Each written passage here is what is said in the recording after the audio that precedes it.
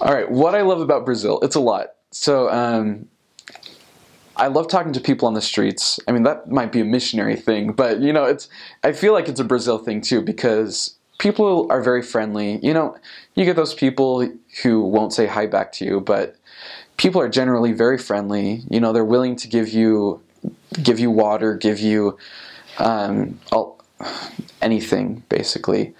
Um, they love giving.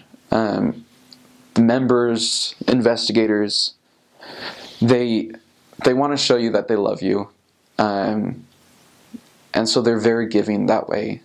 They're willing to do a lot to make you feel at home, um, and they make great food. Some of the foods that I love from Brazil are lasagna. They have they have a different kind of lasagna, and it's just really good. Um, stroganoff, they have a different kind of stroganoff that's really good. Um, they have you know, the barbecue everyone talks about, churrasco, um, which is all you can eat meat. You know, it's it's salted sirloin or or chicken hearts or something like that, and it's just delicious. Um, they eat a lot of beans and rice. That's something I miss. I don't know about other people, but I, I love beans and rice.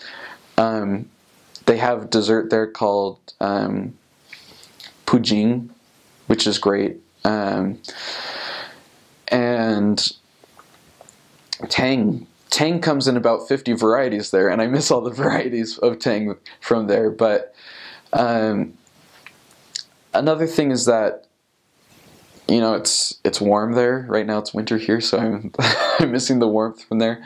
But it also does get really rainy at one part of the year. Some people love the U.S. Um, and so that was fun, you know, being able to talk English to them. It does get frustrating sometimes because you just want to tell them about the gospel, and they're very interested in everything that goes on here. They want to know English. They they want to know about what kinds of foods we eat. You know, they're very interested in in learning about the U.S. also. Um, I love Brazil too because I feel like I put in perspective kind of my own home. You know, the U.S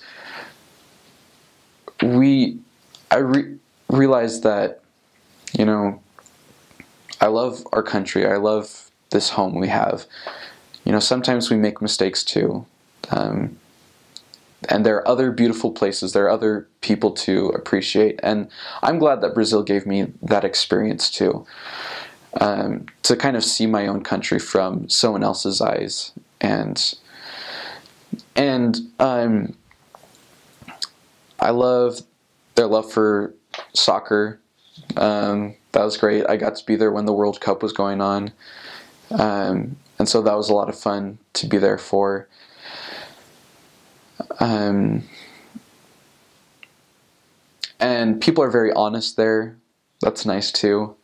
Um, I love the Brazilian language.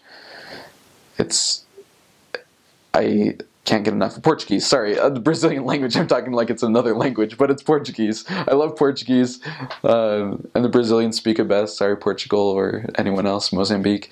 Um, but yeah, it's a great place. A lot of wonderful people there.